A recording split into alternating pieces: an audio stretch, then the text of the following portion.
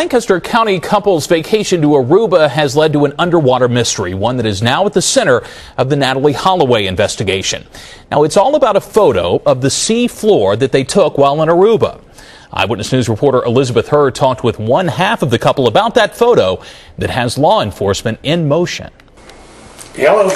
Jack Muldowney's phone rang nonstop during our half-hour visit to his home in Lancaster County. Hi, John. My name's Carl Leibowitz. I'm talking from CBS News, the early show.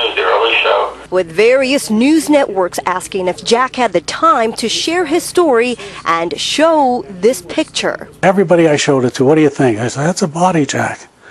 That's a body. Jack's wife, Pattie, took this picture last October while snorkeling off the coast of Aruba. She thought she captured the tail of a snake. Her friends saw human remains, as did Jack's doctor. I said, Doc, what do you think? He said, that's definitely a corpse.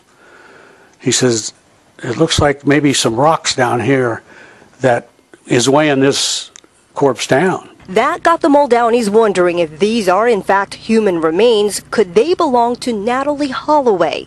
And right away it dawned on us that poor Holloway girl was never found. The Alabama student disappeared in Aruba while on a school trip in May 2005. So Jack contacted the local police and the FBI hoping to learn more.